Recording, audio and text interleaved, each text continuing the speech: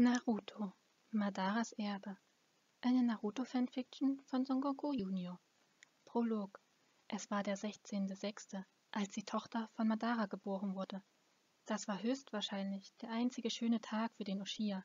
Schließlich weinte er. Der ernste und harte Madara war plötzlich doch nicht mehr so ernst und hart. Sag mal, Madara, weinst du etwa? kam es lächelnd von Madaras Frau Nami, die Madaras linken Arm leicht berührte.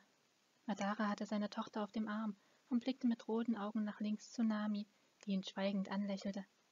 Ich bin halt glücklich, Nami, sprach der Uchiha in einem ruhigen Ton und hob seine Tochter auf Augenhöhe mit ihm hoch und legte seine Stirn vorsichtig auf die Stirn der kleinen Uchiha und schloss die Augen. Dabei lächelte er und sprach, sehr glücklich, um es genau zu sagen. Danke fürs Zuhören. Wenn euch das kleine Projekt gefallen hat, dann bewertet doch das Video und sagt mir, was ihr davon haltet. Bis zum nächsten Mal. Tschüss.